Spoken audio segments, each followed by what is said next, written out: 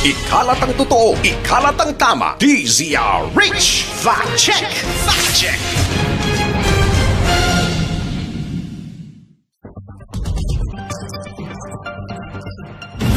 RH Fact Check.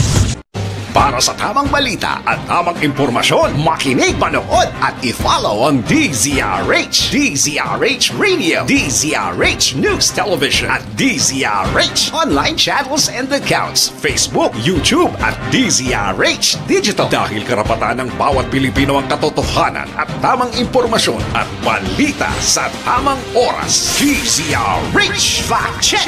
Fact Check. Ikalat ang totoo, mga dapat alam mo na sa COVID-19.